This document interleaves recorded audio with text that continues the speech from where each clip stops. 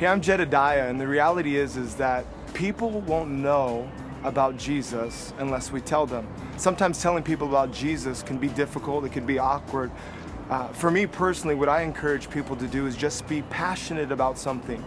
Christians often identify themselves with what they don't do, a list of principles or rules, but we should be known by our passions. We should be known by our convictions. We should be so outrageous and audaciously in love with something or someone that people say, why?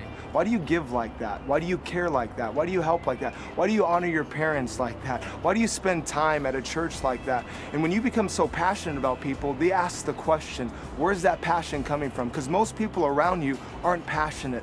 They don't have a purpose. They don't have an identity. And when they see your passion, they see your identity, and they see your purpose, it's going to draw that question, why? And then that's your opportunity to simply tell your story. What has God got your heart so in love with that it would cause you to change your life and live a life that looks so different than the rest of the world's. The reality is is that when you've said yes to Jesus, that yes should require your life to look different than those that have not said yes yet. And that yes and that response should require those that have not said yes to ask you why your life looks the way it does. And it's because you've said yes to Jesus.